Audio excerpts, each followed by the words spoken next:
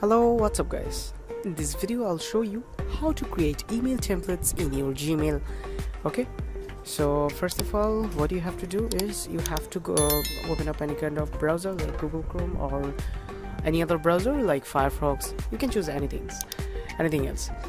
So you have to go to gmail.com and here you can see I'm just on my uh, Google Mail. Alright, so what you have to do is you have to uh, click on that gear icon settings icon. You can see top right uh, side of your display and you have to click on uh, see all settings. Now here you can see advanced. So you have to click on advanced and you have to scroll down and you have to turn uh, on I mean enable the templates op option right here. So you have to enable select enable and you have to save changes. Now here you can see uh, we are done with that process. Now what you have to do is you have to compose a new email.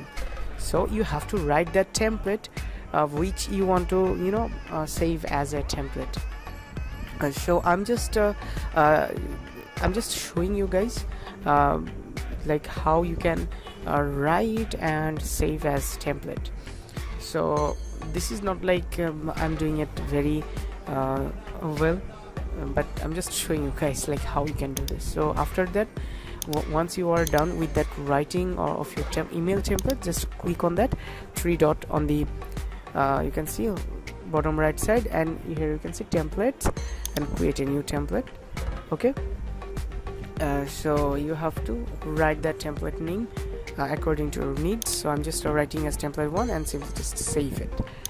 And here you can see we are done with that process too now if you try to replay anyone else just select the uh, tap on that three dot and you can select the template uh, from that option.